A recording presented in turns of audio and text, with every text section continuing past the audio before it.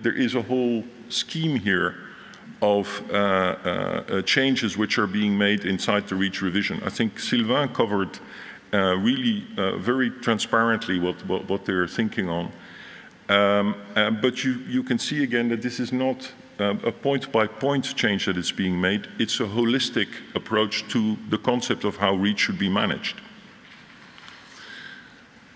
Um, one of the things, oh yes, that The little change due to uh, the fact that the Commission announced uh, that the REACH revision wasn't going to be published, I just wanted as an aside to mention it doesn't mean that nothing is happening, because there are some things that are still being done by the delegated act process, uh, like some work on, on, on, low tonnages, obviously GRA, which uh, Sylvain has mentioned, uh, and I think also on the reform of authorization, some of the things will progress regardless of uh, the, uh, uh the, the, fact that the legislative proposal is not there yet. Um, again, if you look uh, at the, uh, and now I have to put on my own glasses to read my own slides here, sorry. Um, the, the, restrictions uh, and uh, the, the, REACH review fit in the, the redesign of a larger uh, architecture, uh, which will shift competences, uh, which will have impacts beyond the EU market, and this is very much intended. Uh, and it will also facilitate certain things for industry by providing a more centralized approach to the assessment of chemicals. So overall, the aims of what's being attempted here are positive. Uh, this is again a chart uh, uh, stolen from the from the from ECHA. I absolutely love this chart because I think it's so beautiful. It's really the art of chemistry. Huh? We're here, we're surrounded by Klimt. Uh, this is almost as beautiful. Uh, the grouping uh, approach really should be boiled down to the, the, the bullet point on the left there, which is they want to understand by 2027 what group of chemicals need to be managed. So the process that we're in today will actually really guide you to say, okay, these are the things I need to pay attention to uh, in my own organization, my company. Uh, uh, the future expansion of SVHC, at least to me, from a meta perspective, look much more pleasing and much more logical that you can also find your way. Uh, you know, you may not like it. You may say, oh, my endocrine disruptor is not so bad, or my skin sensitizer is not so bad, but at least it's much more predictable and less ad hoc in the way that uh, the, uh, the assessment is, uh, is made. So whilst you know, it will definitely mean work for us, I think overall it is a simplification and a facilitation of our work uh, in future. So, uh, this is a little bit mean, uh, perhaps, because there is a concern that GRA, via GRA or not via GRA, uh, might lead to a lot of restrictions being, uh, being put forward. Uh, I'm not going to make any jokes uh, uh, about this, but uh, there is a real concern that the Article 68.2 restrictions are perhaps a little bit a simplistic way to get to a goal. I think Sylvain tried to put your mind at rest, that it will be used only if there is a real risk to a particular use. I'm not so 100% convinced. I think this is uh, something that needs to be tested uh, in practice because with non-threshold substances like endocrine disruptors, exposure equals risk. So I can get very quickly uh, to a risk and then it becomes a little bit a question of opinion about whether this is a good thing or not to, uh, to, to, restrict. Obviously, there's also the, the, the classic uh, uh, restriction process which would involve the application of OSOA, that's a good thing because right now there's quite a few differences of opinion between ECHA and EFSA or EMA and EFSA, for example. Uh, so I think that should, should benefit uh, us overall. But this will certainly play a role for all of us in practice in the coming years.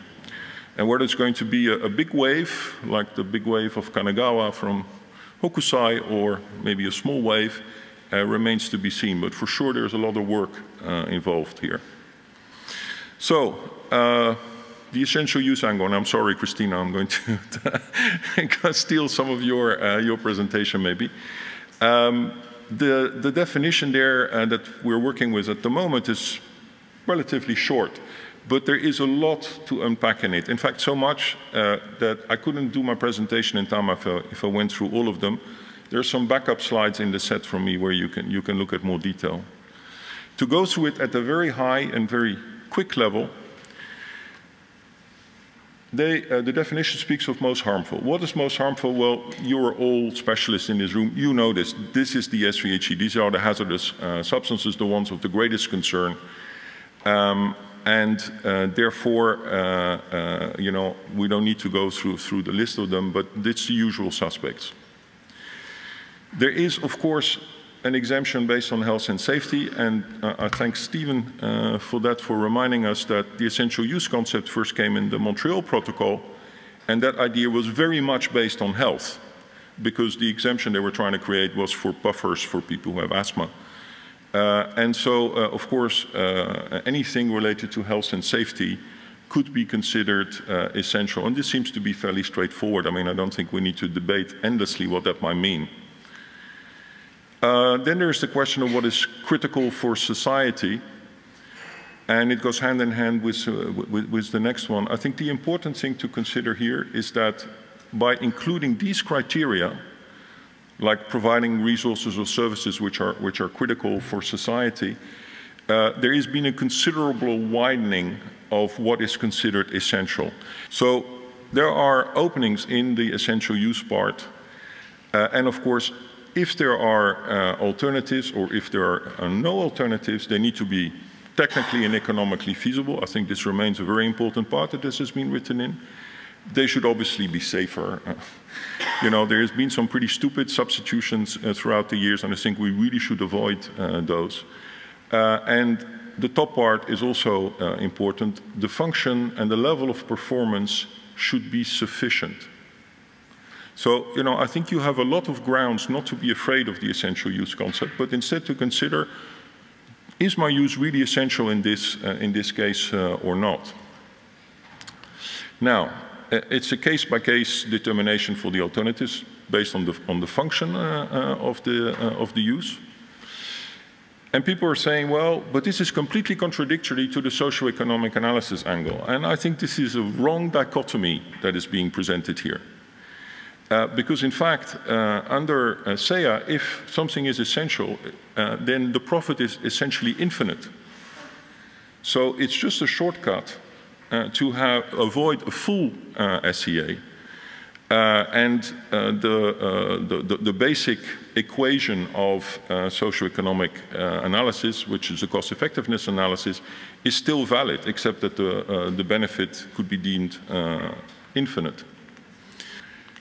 So what do you need to do? Well, you need to realize uh, that uh, your business is right at the center of all of these regulations.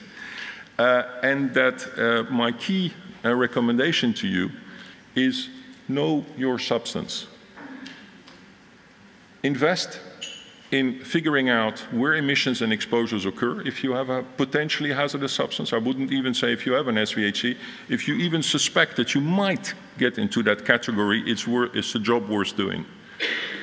Check what alternatives there are. If there are none, try and already create a justification for that. Run an analysis whether it's essential or not. There's a decision tree, uh, uh, I'm sure, that will be provided for the, for the essential use concept, but also an SEA. A mini SEA is not such a, such a huge exercise as to be so, so, so difficult. And if you need to substitute, because if your cost benefit ratio is low, you should really consider I should substitute. And so invest in that and have that ready uh, ahead of the time that the regulatory process starts, starts running. And I would like to make one point. The MCCP restriction was, was mentioned. Um, some downstream users said we need a longer review period for, or derogation period for uh, the MCCP restriction. And these are very specific downstream users. The answer of the committees was, well, the main manufacturers, in this case of cables, have said we don't see a problem. And this is exactly where uh, I think what Sylvain mentioned could come in very useful. If the downstream users had been able to communicate earlier, like saying, oh, hold on a second, my situation is special, then the upstream manufacturer who makes cables for everybody would have been able to uh, report on this beforehand. And here this difference was being used to divide and rule and say, in my opinion, not justified, but okay, you know, I'm not uh, SEAC, to say what you say is not confirmed by the manufacturer, uh, and so I'm not going to take it into account. I think, you know, those are the sort of outcomes which are very undesirable and which could have been avoided. Anyway, I've just overrun my time, but I think only by a minute, so thank you.